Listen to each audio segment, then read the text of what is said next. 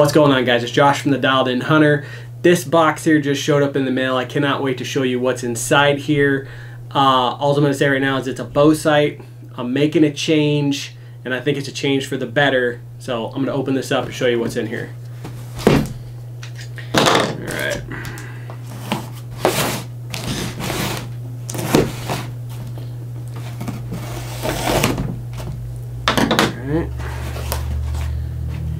We go. All right, this is from Option Archery. Nice little uh, handwritten note there that says, let me know if you have any questions. That's awesome. Thank you, Dan. I will let you know. Right here, got some, uh, oh yeah, installation instructions, uh, installation and operation, um, some decals. That's awesome. Set of Allen keys right here, and then looks like um, yeah, these are all sight tapes. Uh, variety of sight tapes that come in the box. That is awesome that it came with a set of Allen keys. Very cool. Let's get this in here. All right. That's going to do it for inside the box. Let's open this puppy up.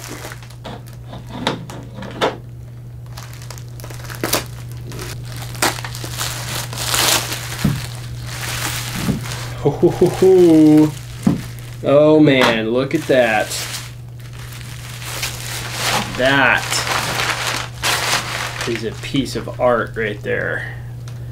Look at that. So this is the CP5. This is the Canyon Pounder 5 pin sight from Option Archery. I went with the, the pick rail mount. Um, man, this thing feels solid super solid. Like first impressions, uh, taking this out of the bubble wrapping, which uh, I guess you can get. Um, uh, Dan also sells uh, hard cases that you can keep this in. I just decided to get the bubble wrapping, um, but right when I took this out of the bubble wrap, I put it in my hands and I was like, "Wow, this feels like." I mean, it just feels like quality. Like everything on here, nothing on here feels flimsy or cheap or anything like that um, kind of go over it here with you, give you a once over. This is literally the first time I've ever laid my hands on this. Uh, so went with the pick rail. Um, you've got a sight tape here, and you've also got a sight tape here. Uh, the thing I like about that, uh, I was doing a lot of research on this sight, and basically this sight tape right here is going to be a reference for the middle pin, which I'll go into that in a little bit. Um, is going to be a reference for the middle pin. So I set my pins up 30, 40, 50, 60, 70. Um, so that's going to be set at 50 yards. And when I want to use that middle pin, say I've got like a real precise shot that I need to make, uh, maybe like, you know, threading the needle type of thing between like a gap in the trees or something like that. Um, let's see if I can do this first try. Yep, there we go this flips out, this part here, and now there's just a single pin right there, okay? So this is gonna give me to the yard accuracy for um, those more a little bit more technical shots or you know say i'm going to you know an archery shoot or something like that some 3d shoot and i want to you know just kind of live the single pin life while i'm there um, that is that is what that's going to come in handy for. The other side though, let me tighten this or close that back up there. That's really cool. That operates off magnets. There's magnets right here. There's magnets here. You open this and then these run into these magnets right here and that's how it stays open. So pretty cool. Close that back up. Um, this sight tape right here though is going to be, I'm going to set this for my bottom pin, which is what I'm used to. This is a slider sight obviously. What I'm used to doing is using my bottom pin as the floater. With this sight, I'm actually going to have kind of, when you think about it, two floaters. Um, and this one will be referencing the middle pin and then this one will be referencing the bottom pin. The, the one for the bottom pin is going to be uh, what I liked about this. This sight just has a lot of versatility to it, which is something that really stood out to me. But the bottom pin is going to be for those longer shots. You know, if I need to, because obviously that middle pin is in the middle of the sight housing, right? So you're only going to get so much yardage out of that when you're uh, dialing the sight down. The bottom pin though is going to give you more yardage to make a further shot. So whether you know I'm at the archery range and I'm practicing further distance, or I need to reach out and touch something a little further, say like on a follow-up shot in the field, that's going to be able to do it.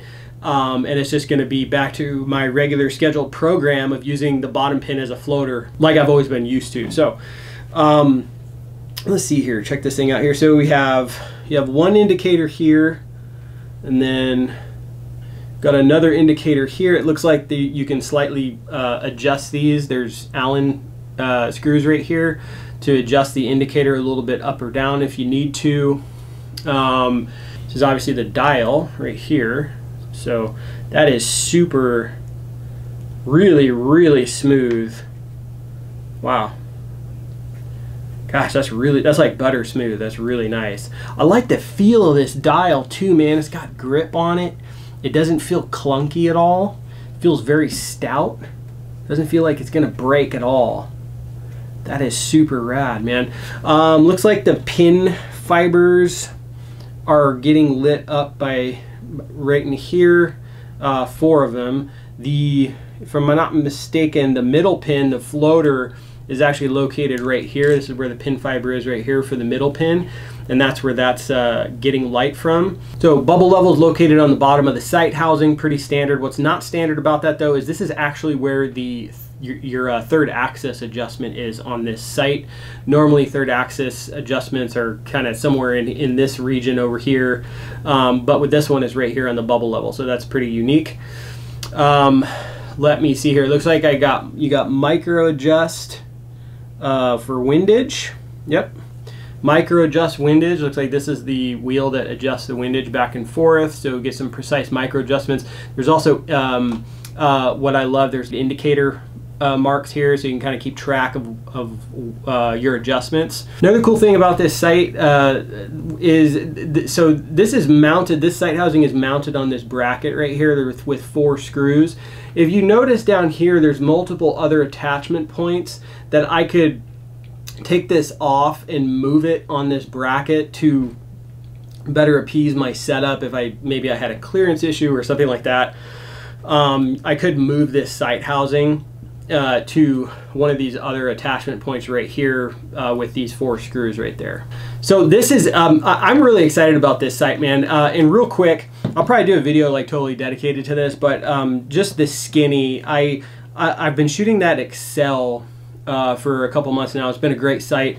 Um, but what's been happening with it is uh, the slide has actually been coming loose on me. And um, it's been coming loose and moving without me knowing. Um, I've been noticing that at the archery range uh, when it's too late, and I go, "Oh wow, I hit high right there," and I look down at my indicator, and I'm off, you know, three or four yards because my slider went down. So um, that was a little freaky, and I, I don't know if you remember me mentioning this before, but I was a little freaked out about how many uh, screws were on that Axcel. I gosh, I really like that Axcel sight. It's it's like really well made, but with how much is going on there, I was in the back of my head. I was a little worried about bringing it on backpack hunts, um, and after putting more and more testing through it and seeing that oh this is this is coming loose here, that could I mean, that could cost me a bad shot in the field. You know what I mean? So uh, for me, I was like, you know what? I've heard nothing, like literally nothing but good things about this sight. Like nothing but good things. I've never heard somebody complain about one of these. Um, nothing is perfect, okay? But so far, that has been the skinny on the Canyon Pounder. Uh, like I, I did a post. Um, a, a, while back. I did a video on the Axcel versus the Black Gold, and some people commented on that, and they said you need to check out the Canyon Pounder. So I literally went after that and I checked this out, and I was just, I mean, this thing just spoke to me, man. Like it just, like it screams durability. Um, practicality, functionality, just everything. Um, and you can tell that a hardcore bow hunter made this sight. Okay, um, this thing looks looks like it's just built for the backcountry. So I'm really excited to put it through the paces, and I'm going to keep you guys updated on it. And I will likely do a full review on this uh, in the future. So um, just a short unboxing video for you guys. If you like the video, please hit thumbs up. If you like the channel, please hit subscribe. And until next time, uh, comment down below. Have you used the Canyon Pounder? What has been your experience? Uh, and if you're not using the Canyon Pounder, what sight are you using and why? Thanks for watching, guys.